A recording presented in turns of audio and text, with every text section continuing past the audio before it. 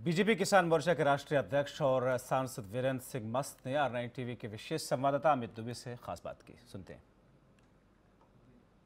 BJP किसान मोर्चा के राष्ट्रीय अध्यक्ष और बीजेपी सांसद वीरेंद्र सिंह मस्त हमारे साथ हैं। सर जिस तरह से ओवैसी की बात करें ओवैसी ने कहा है एक बार फिर बयान दिया कि कागज़ नहीं दिखाएँगे सीने पे गोली खाएँगे।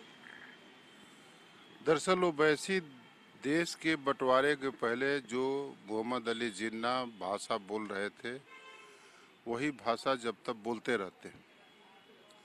और वो सीने पर गोली खाएँगे कि सिर में गोली खाएँगे, उनको फैसला करना है और गोली चलाने वाले को फैसला करना है कि उनको गोली कहाँ चलाएँगे। बोल देना, जनता के सामने अपनी बात को कुछ भी कह देना। अगर विवेक से बातें नहीं होती है तो वह व्यक्ति ही जमा जिम्मेदार हो सकता है जो इस बात को कहता है और सुनता है। सर लेकिन यूपी सरकार के एक मंत्री भी बयान दे रहे हैं कि जो सूप नका थी वो मुस्लिम जो बुरके पहनने वाले लोग हैं वो सूप नका जैसे हैं। उनके लिए भी यही लागू होता है बातें विवेक से होनी चाहिए। समाज में काम करने वाले लोगों को जिस पर ज़िम्मेदारी है उसको विवेक सम्मत बात करनी चाहिए।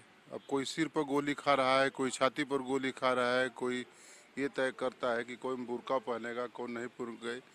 उन लोगों के कतार में मैं तो नहीं। वीरेंद्र जी राहुल गांधी ने कहा है कि एससी की बात करें एसटी की बात करें दोनों के विरोध में आपकी सरकार खड़ी होती है लगातार। राहुल गांधी तय करने वाले कौन होते हैं कि हमारी सरकार एससी और एसटी के विरोध में ये सरकार नरेंद्र मोदी की सरकार ने और उसके गृह मंत्री अमित भाई ने पार्टी के राष्ट्रीय अध्यक्ष होते हुए।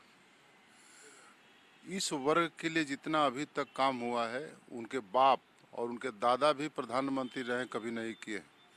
वो पिछली इतिहास को अगर नहीं जानते हैं तो हमसे जान ले और उसको पढ़ भी सब थोड़ा बहुत पढ़े भी हैं तो पढ़ भी लें तो जान लेंगे कि क्या कह रहा हूँ मैं।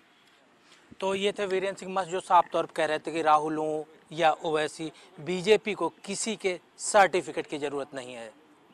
कैमरामैन राहुल के साथ Amit Dubey, R nine TV, Delhi.